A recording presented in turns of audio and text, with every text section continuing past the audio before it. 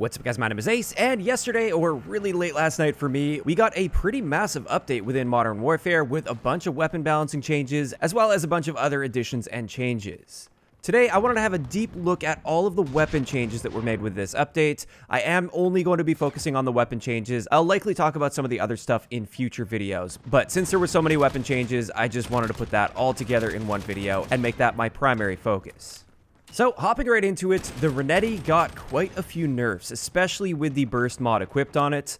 But the first nerf applies whether you have the burst mod on or not. They reduce the maximum amount of ammo that you can carry with the Renetti. And this only applies if you're picking ammo up with Scavenger, or if you're using fully loaded, for instance. Previously, you could hold 135 rounds in reserve, now you can hold 90 in reserve, which is still a pretty significant amount, that's still tons of ammo, and if you're going pistol only for instance, that's still plenty of ammo for you. But it has been cut down by a very noticeable amount. Next up, with the Mark III Burst mod, there was a significant hip spread increase, which I'll just show you the comparison here. This is all post-patch. The base hip spread is actually pretty tight on the Renetti, but as soon as you add that burst, it really widens that hip fire spread a lot. And then also, the next thing they did here is they also increased the hip spread while using Akimbo and the Mark III burst together. And you can see that it's even a little bit wider than the standard Mark III burst hip fire spread. Additionally, they went really hard on this burst mod. They actually decreased the damage values as well, and we can look at the pre-patch and the post-patch here. The main thing you'll notice is it's still going to be a 3 to 4 shot kill as long as you're hitting the upper torso, but now we no longer have a 3 shot kill potential to the lower torso up close like we used to have. On top of this, another really big thing here is there is no longer a headshot multiplier while using the burst mod with the Renetti. So this means you deal exactly the same amount of damage to the upper torso as you would to the head. So that makes this burst mod quite a bit less effective, but like I said, as long as you're hitting those upper torso shots, it's still going to be pretty much the same performance.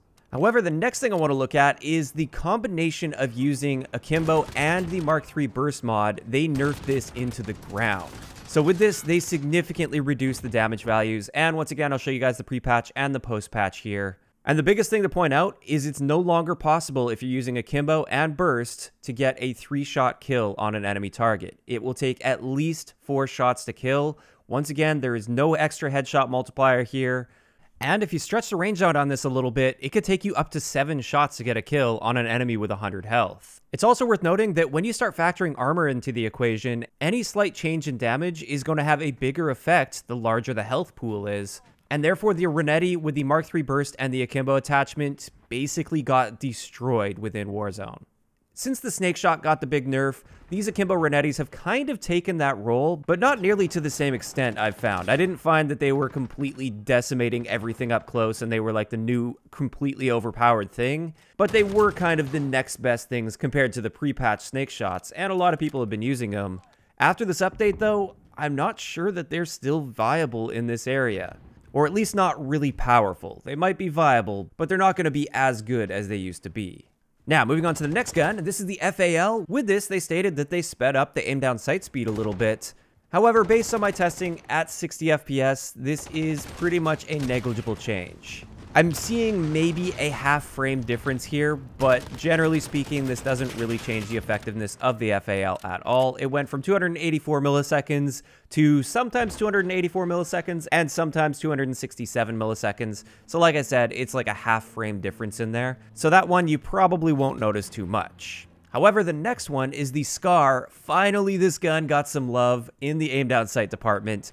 Pre-patch, this was a 350 millisecond aim down sight time, which is ridiculously slow for an assault rifle. Now it's 317 milliseconds, which is still quite slow. It's still among the slowest in the assault rifle category, but it's at least somewhat within the realm of what an assault rifle should be. And if you stack up on attachments to help with your aim down sight time, you could really bring this down to where it should be in the assault rifle category. So I would say this actually makes the SCAR a much more viable choice than pre-patch, and I might even use it a bit more often. After that, we got a little bit of a buff to sniper rifles when they're holding their breath. With this, basically, they just lowered the penalty for holding your breath for too long. So when you hold your breath for too long to the point where everything becomes unstable and you completely lose that stability, it looks like you recover much faster from this now. Unfortunately, I didn't do any pre-patch testing on this because this wasn't something I ever anticipated would be changing. But yeah, you can get back to holding your breath just a few seconds after holding your breath for too long. Now, moving on to the next weapon change, and this one was very significant, the VLK Rogue Shotgun got some pretty serious buffs. First up, they slightly increased the rate of fire from 136 rounds per minute up to 147 rounds per minute. That one doesn't really change too much, but it is a nice little boost that it gives you. As for the next change to this though, this is where this gun got a very noticeable boost. Its one-shot kill potential went from just 4.1 meters up to 5.3 meters, which is very respectable considering the fact that this is a semi-auto with a decent enough fire rate that you can get that second shot off pretty quickly. So this gun's going to be much more effective in those really close quarter situations. On top of this, apparently they increased the damage range on the 6-inch revolt barrel for the VLK Rogue. I haven't gotten around to doing my really detailed tests with this yet and like testing individual attachments pre-patch, so I don't know what this did pre-patch, but post-patch, our one-shot kill range with this barrel is 4.3 meters, which means we get a roughly 20% reduction to our damage range while using this barrel.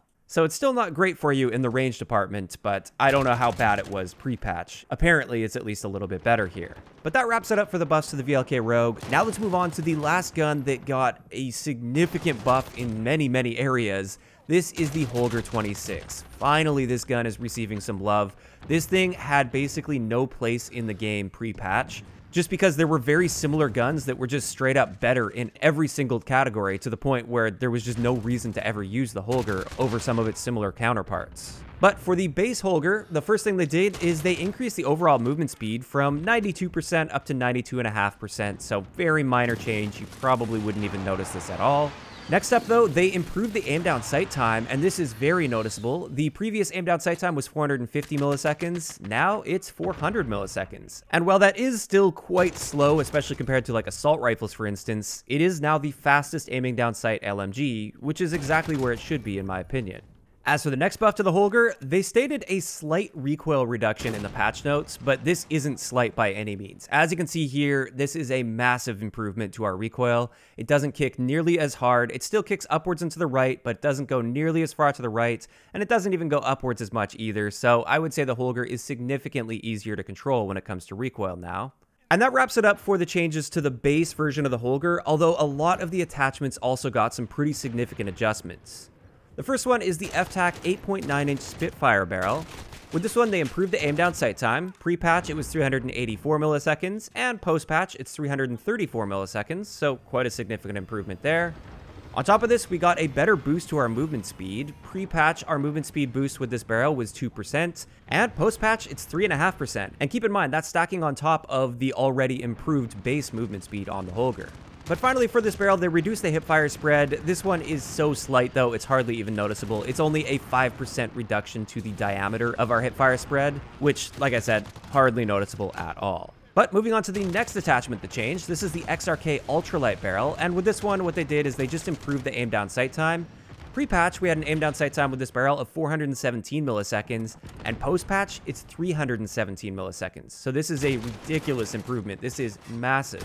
And therefore, if you are going for raw aim down sight time in the barrel department, the ultralight barrel is the way to go. As for the next attachment that changed, and I'm really happy this one got a bunch of buffs, this is the 30 round magazine. With this, they reduced the sprint out time from 284 milliseconds for our standard sprint out time down to 200 milliseconds. And then for our tactical sprint out time, this is a big reduction. It went from 500 milliseconds down to just 284 milliseconds. So this new sprint out time with the 30 round mag is actually better than all of the assault rifles in the game. On top of this, with that 30 round mag, they improved our aim down sight time from 400 milliseconds down to 317 milliseconds, so you're now within the realm of a slower aiming down sight assault rifle rather than a fast aiming down sight LMG, which is kind of nice, but you can always stack more attachments as well to really bring it down to the assault rifle level. Next for the 30 round mag, we get faster movement speed overall. And with this one, I didn't really notice an improvement. It's still roughly a 3% boost to our overall movement speed. Although now that we have a better base movement speed with the Holger, we are going to be able to move a little bit faster. And finally, for the 30 round mag, our hipfire spread improved slightly as well. This was about an 8% improvement to the diameter of our hipfire spread which just like with the previous attachment that changed that, it's not that big of a difference. It's hardly noticeable. But those aren't the only attachments that changed. The next one that got a buff for the Holger was the no stock attachment. And with this one, our sprint out time actually improved from 284 milliseconds down to 250 milliseconds, and the tactical sprint out time changed from 500 milliseconds down to 334 milliseconds. Next up, we get a better movement speed boost with the no stock attachment. I didn't have any values pre-patch for this, but post-patch, we get a 4% boost to our movement speed, which is pretty big. And on top of this, we got reduced hipfire spread, and this is much more noticeable than the other attachments that got improved hipfire spread. This gives you about a 12% reduction to the diameter of our hipfire spread, which is definitely starting to become noticeable. On top of this, we get improved aim down sight time. Again, I didn't have the pre-patch values for this. I believe I believe it helped by about 2 frames at 60 FPS, whereas now it's helping by 4 frames at 60 FPS. Our new aim down sight time with the no stock attachment is 334 milliseconds. But finally, there was one last attachment change for the Holger, and this is the stippled grip. And with this, we got improved aim down sight time. Again, I don't have the exact pre-patch values, but I believe it helped by either 1 or 2 frames at 60 FPS. Whereas now, our post-patch aim down sight time with stippled grip is 350 milliseconds, so 3 frames faster at 60 FPS, which is quite nice. So those are all the stated changes with the Holger and the various attachments. However, I did want to answer the question, is the Holger now worth it to use? Does it have a proper place in the game?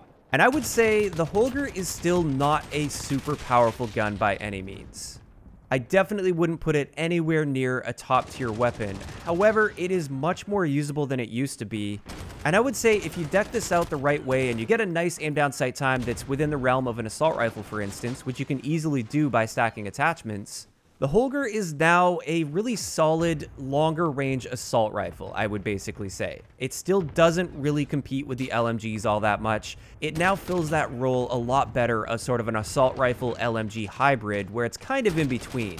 It's going to be beat out by most assault rifles up close, and it's going to be beat out by most LMGs at longer ranges. However, it does a nice job of finding that balanced middle ground in between the two.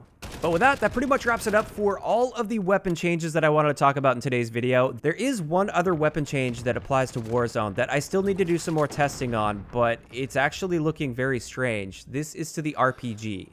They stated within Warzone they reduced the RPG kill radius for players with full armor. However, I've done some basic testing here, and it looks like they actually buffed the RPG in many other areas. So more details to come in the video probably tomorrow, although it might end up being a couple days from now. We'll just have to wait and see on that. But based on my initial testing, the RPG actually got buffed with this update. But with that, I'd like to know in the comment section below, what do you guys think about all of these weapon changes that were made with this update?